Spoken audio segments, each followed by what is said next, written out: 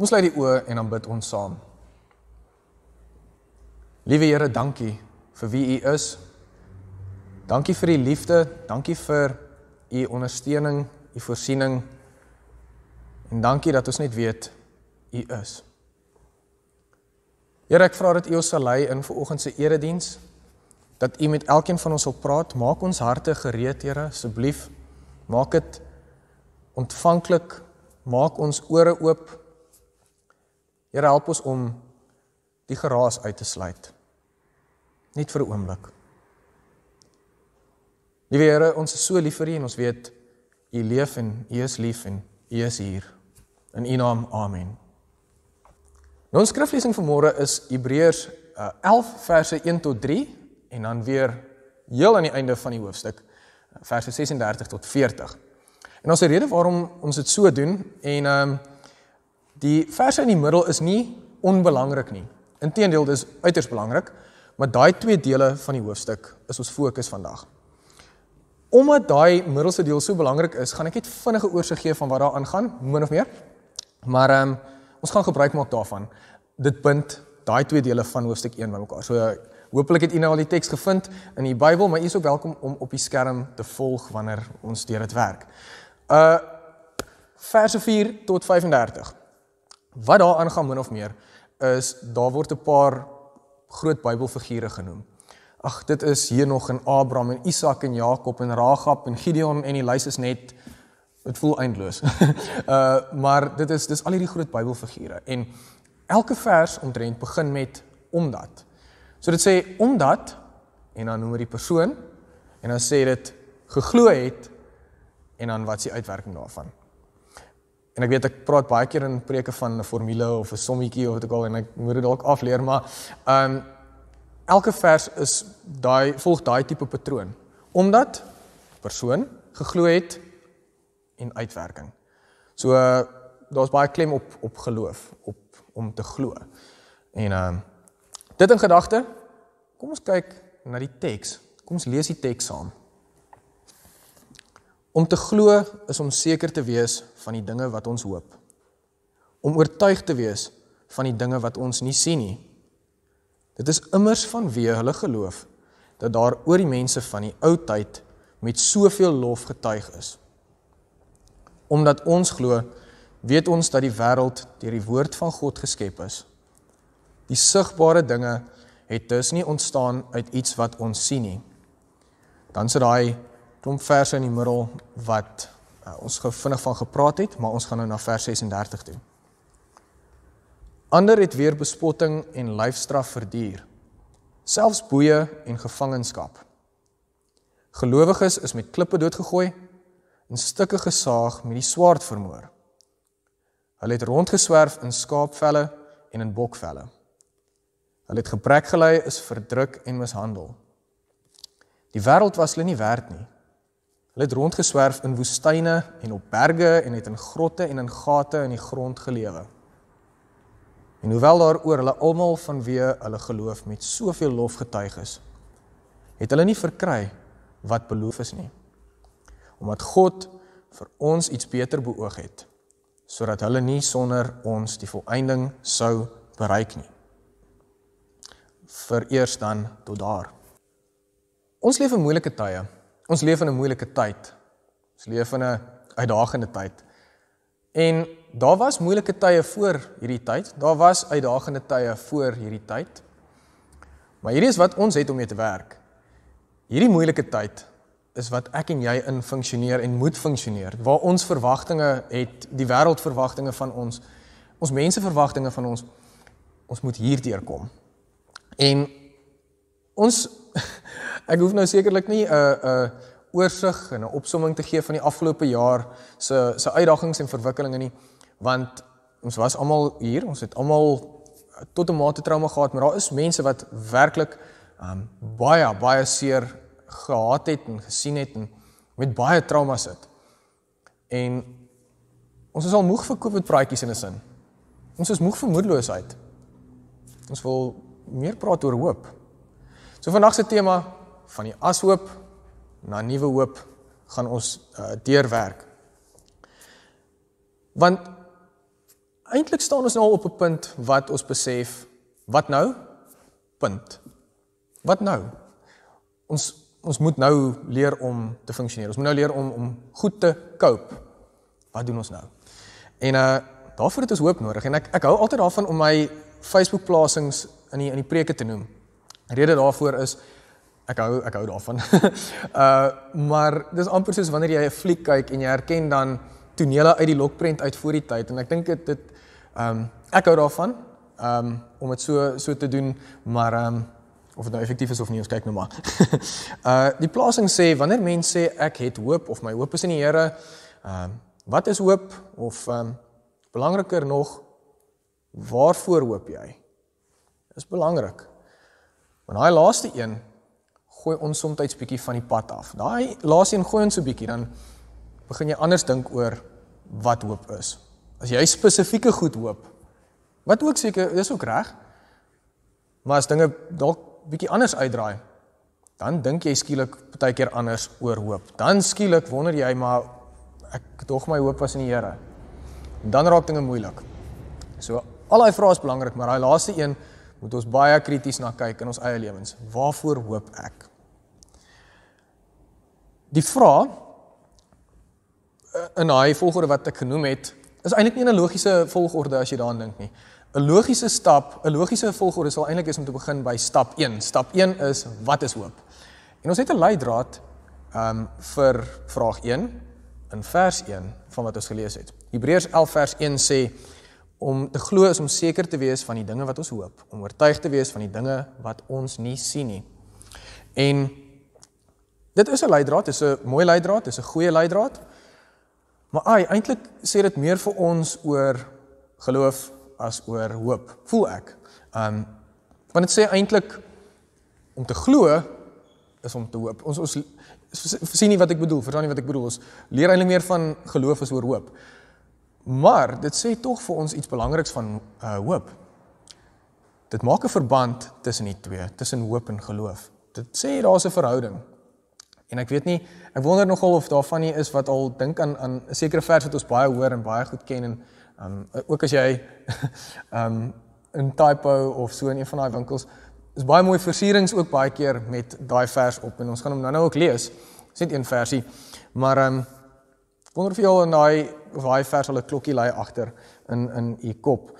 Um maar nie net daai vers help ons om te dink oor geloof en oor hoop nie. Daai verse wat ons net 'n oorsig van gegee het wat wat ek net gesê het ja maar Abraham en Is Abraham en Isak en Jakob en Gideon en Ragab en ehm um, Henog en Noag en al die ander name wat ek dalk uitlaat per ongeluk. Ehm um, daar leer ons ook baie van hoop. Daai formulietjie omdat persoon en aksie of uitwerking. Dit sê vir ons baie van hoop. Vat byvoorbeeld vers 7. Omdat Noag geglo het, het hy God eerbiedig gehoorsaam toe hy gewaarsku is oor dinge wat hy nog nie wat nog nie gesien kon word nie. Hy het omdat hy geglo het, glo, het hy oorgegaan in aksie. Hy het hoop, sy hoop in die Here geplaas. Sy aksies, sy dade, sy optrede. OK. As jy die hele Noag narratief lees, dan gaan jy sien hy hy is ook ongehoorsaam geweest, maar hy hy het die Here gehoorsaam en sy hoop het hy daar in die Here geplaas. Hy het geglo en sy hoop was in die Here. En daaroor gevloei. Al hierdie name interessant, ek wil net vir u noem. Ek het eendag gelees um dat iemand praat van hierdie groot Bybelfigure. U u ken ons in in Amerika the Hall of Fame. Nou ek, ek sien hulle praat van Hall of Faces. en ek dink ons dink baie keer so oor oor hulle as hierdie groot uh figure hierdie rolmodelle en ja, is baie wat van hulle kan leer. Ek bedoel kyk nou net kyk hoe baie is al geskryf oor hulle. Maar hulle het ook foute gemaak. So ons as ons foute maak, ons moet ook hierdie mense op 'n 'n podium plaas en en um dink hulle is op 'n afstand van ons nie. Ons is in dieselfde bootjie in 'n manier. En um ons almal het hoop nodig. Ons almal het nodig om vas te hou aan die Here in gehoorsaamheid. Nou omdat hierdie mense geglo het, het hulle um hulle hoop in die Here geplaas. En hier is ons 'n baie belangrike konsep wat ons nou uh weer na vore bring. Of vir die eerste keer eintlik hier na vore bring in hierdie gesprek sover in hierdie diens. Wanneer ons ons hoop in die Here plaas, dan word ons bewus van 'n groter prentjie. Maar hoor my nou. Dit beteken ek is bewus van die hier, die nou, die ek en die jy. OK? Maar ek is ook bewus van die groter prentjie. Volgie. Ek is bewus van die hier en die nou, die ek en die jy, maar ek is ook bewus van die groter prentjie. Met ander woorde, as dit met jou swaar gaan, As jy voel jy het nie hoop nie, as jy met iemand praat en die persoon het nie hoop nie. Dis oukei. Okay. Dis reg. Dis moenie bekommerd wees nie. Dis mens. Die Hall of Faith is was ook op 'n punt in daai posisie en daai omstandighede. Maar moenie vergeet van die groter prentjie nie. Want daai twee is in verhouding met mekaar. Daai twee, hierdie een vorm deel van hierdie een. En ehm um, wat dit basies op neerkom is daar's 'n aanhaling ehm um, wat wat u sekerlik al gehoor het iewers ook. Ehm um, en hierdie hierdie ou het Christene baie kwaad gemaak oor die oor die jare. Ehm um, maar religion is the opiate of the masses. It is the opium of the people. En ehm um, miskien weet u van wie ek da, nou daar praat, maar hierdie ou se argument was ook maar gewees dan op 'n manier en baie ehm um, nie gelowiges voel ook so uh, dat geloof, religion is iets wat ons is eintlik maar iets wat ons maak, iets wat ons self opstel en struktureer. Ehm um, partykeer vir opsweepery, partykeer vir net om aan iets vas te hou in tye van nood, in tye van krisis. Het ons nou maar gegaan en gesê nee, maar ons het nou 'n geloof nodig want ons het iets om aan vas nodig om aan vas te hou. En ek ek wil so verskriklik graag um, vir hierdie persoon sê jy die kat heeltemal in die stert beet. uh want daai aanname of daai stelling impliseer dat geloof in ons hande is. Geloof kom van God af. Dit is 'n geskenk van God af. Dit is vry gratis passella verniet van die Here af aan ons gegee om te glo. Dit is soms moeilik as dinge hopeloos lyk wanneer ons moedeloos voel. So ons moet baie krities dink oor hoe ons met mense praat ook. Want wanneer iemand met jou praat wat soek na hoop, wat smag na hoop, iemand wie sink en iemand wat miskien keer op keer uitroep, Here help my, haal my uit die stormwaters uit. Ek kry nie asem nie. Ek wil net een asem skep asseblief, Here. Iemand wat in daai posisie is. Um in 'n tyd waar asem duur is, as ek nou maar op daai manier kan stel in so 'n oomblik. Dink ek moet ons versigtig wees dat ons nie goedkoop raad gee vir mense nie. Dit is nie goedkoop ja, raad vir mense gee waar ons mense bemoedig om net te sê, "Ey, keep your chin up." Voel beter nie. Hê meer hoop, hê meer geloof nie. Dit is baie meer kompleks as dit en ons gaan vandag so 'n bietjie ehm um, alles is nou al rukkie in die in die diens in Ons gaan nog so 'n bietjie daarin raak ook om te sê maar ehm um, die verhouding tussen daai twee is iets wat uh gel tussen geloof en hoop is 'n baie moeilike ding vir ons om te verstaan want as ons dink oor hoop of as ons praat van hoop dan vermoed ek dit twee uh hoeke daaraan. Hoop sit hier, maar hoop sit ook hier. Dis wat dit so moeilik maak. En ek sal nou net verduidelik wat ek daarmee bedoel, maar ehm um, Miskien het jy al so 'n bietjie 'n vermoede wat ek daarmee bedoel. Maar ten spyte van dat ons troos in hoop en geloof vind. Um Partykeer soek ons ook juis na meer troos as wat ons dalk ervaar. Hoor my, hoor my nou versigtig want dit skakel met wat ek vroeër gesê het oor um waarvoor hoop jy? Miskien voel jy ek het hierdie tipe hoop verwag. Ek het hoop in hierdie opsig verwag. So ek voel ek mistroos. Miskien moet ons eerder dalk sê, Here, wys my in geloof, deur geloof, wys my waar is my hoop? Waar kry ek hoop? Eerder as om te sê ek hoop vir en dan om daai inkopieslysie te gee. En inkopieslysie is nou maar 'n metafoor, maar ek moet eerlik wees met u. Wel, ek moet altyd eerlik wees met u veral in 'n preek, maar ek moet altyd eerlik wees. Maar ek moet eerlik wees met u. Ek ek Ek's bietjie skaam om die volgende te erken, maar ek het met die voorbereiding van die preek het ek iets besef. Ek het besef ek gebruik die woord hoop baie roekeloos baie keer. Ehm um, wat ek bedoel is ons maak dit soms goedkoop. Want in tye van nood en onsekerheid is ons baie keer geneig om te sê of okay, ek is dan baie keer geneig om te sê ag ons hoop vir die beste. Ag ons hoop daai getalle gaan maar weer afneem. Ag ons hoop nou maar ehm um, daai huis word verkoop. Ag ons hoop en dit maak dit goedkoop in 'n sin of dit laat dit goedkoop klink. Want wat ek daarmee doen is ek kommunikeer eintlik meer iets van moedeloosheid en onsekerheid as wat ek um, iets van hoop kommunikeer. Eintlik wat ek sê, my woorde sê ons hoop vir die beste maar my stemtoon en as jy kyk na watter konteks ek dit sê is moedeloosheid. Ek kommunikeer eintlik meer moedeloosheid as wat ek eintlik werklik hoop uh kommunikeer 'n boodskap van hoop kommunikeer. So ek gaan en wel ek doen dit klaar, maar ek wil u ook uitnooi om te dink oor wanneer ons oor hoop praat. Hoe praat ons oor hoop?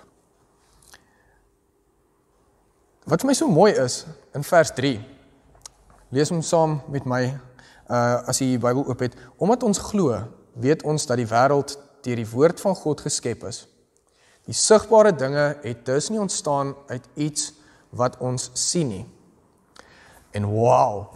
Dis dit dis dit so mooi, maar daai teks, daai vers het 'n ontsettende groot implikasie vir hoe ons dink en praat oor hoop. Het u gehoor die skepping? Ehm um, die wêreld deur die woord van God geskep is, die sigbare dinge het dus nie ontstaan uit iets wat ons sien nie. As jy praat oor hoop en wat ek nou-nou gesê het oor onsekerheid wat ons baie keer assosieer met hoop. En baie keer die ding van ons hoop nou maar. Ons ons weet eintlik nie altyd nie.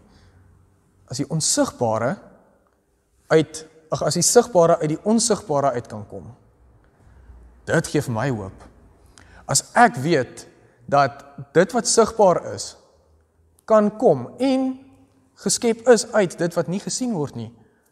Daar's die bron van hoop. Daar's dis waar ek hoop vandaan kry.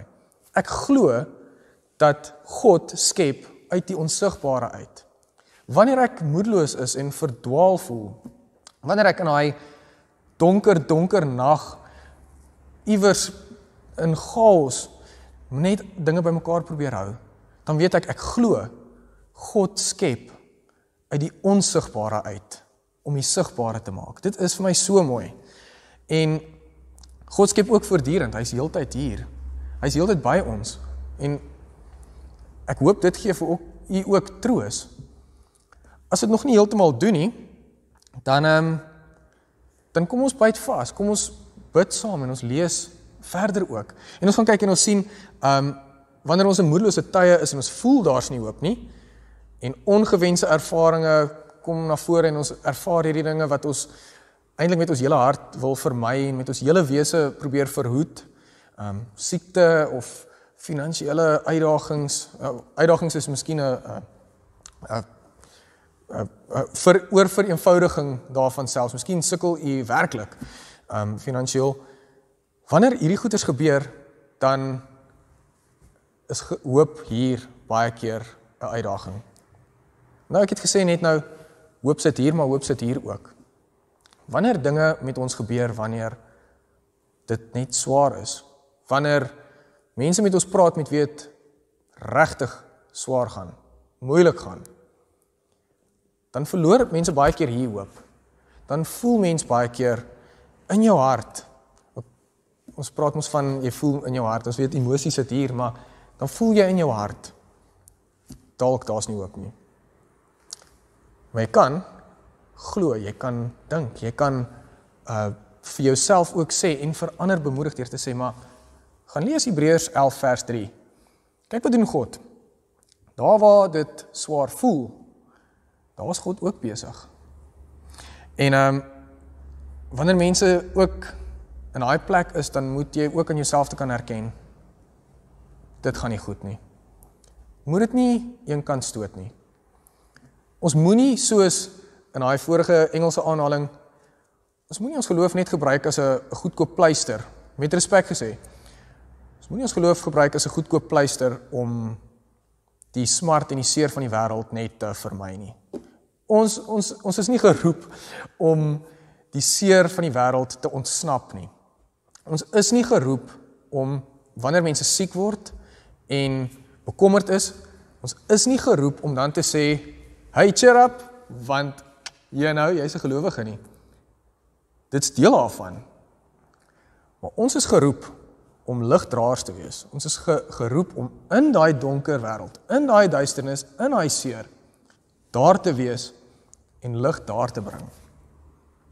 So dit klink snaaks want jy wil mense hoopvol laat voel. Jy wil mense juis opbring en dis wat ons moet doen. Ons moet vir mekaar sê daar's hoop. Daar is 'n silwer rand.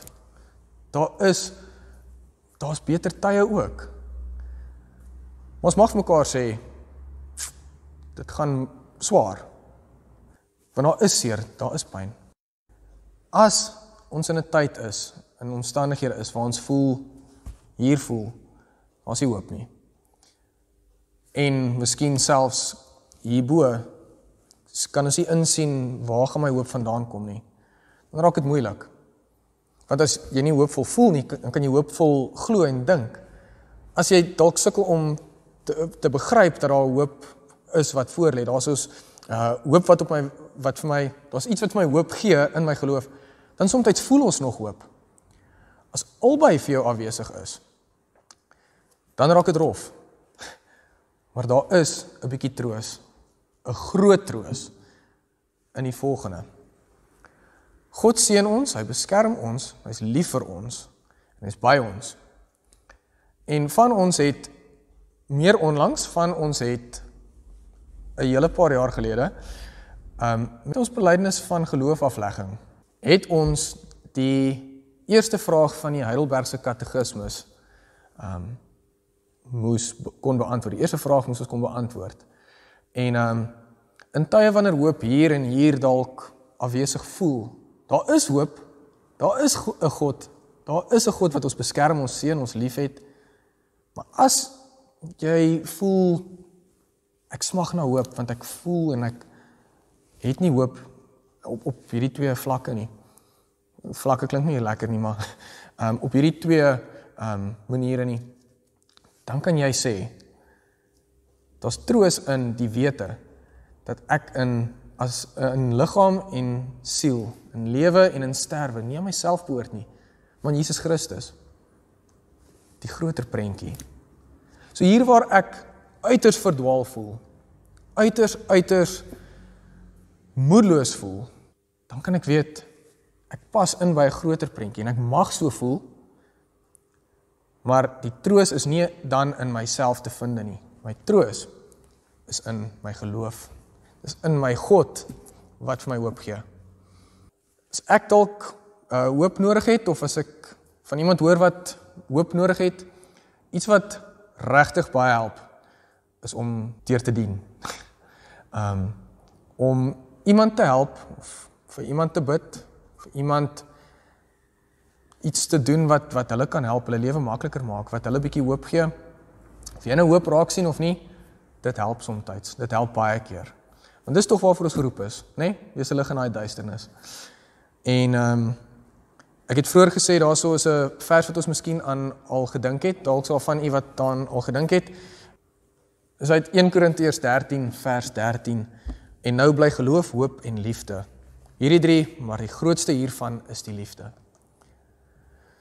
Geloof. Heeltyd het ons oor geloof gepraat. Hoop. Die hele tema was hoop. En waar kry ons hoop? Hier en hier en en is dit in geloof? En 'n laaste opmerking, liefde. Leef in liefde uit. Die lig vir die wêreld. Wees ligdraers vir die wêreld. In die naam van ons God wat leef. Wie liefde is. Daai is die grootste. Want dit vat alles saam. Amen. Kom ons sluit die oë en dan bid ons saam. Liewe Here, dankie dat ons kan op U staat maak vir hoop. Here, ek vra asseblief met 'n opregte, oop, eerlike hart, met oop hande, vra ek help ons om hoop te voel wanneer ons dit dalk nie kan insien nie, maar help ons asseblief wanneer ons nie hoop voel nie dat ons dit sal kan insien en boonop dit help ons om in liefde uit te leef om hoop vir die wêreld te gee. Here help ons om daar waar mense sê ek het asem nodig, ek het 'n breek nodig, ek het 'n ruskans nodig. Here help ons om in liefde daar te leef, om daai mense te help om asem te skep. Wees by ons wie siek is. Wees by ons wie gesond maar gespanne is. En Here, dankie, dankie, dankie dat daar van ons is wie op hierdie stadium so so gelukkig is. Wie ligdraers is vir die wie moedeloos is. Dankie Here. Ons vra dit alles in u groot heilige liefdevolle naam. Amen.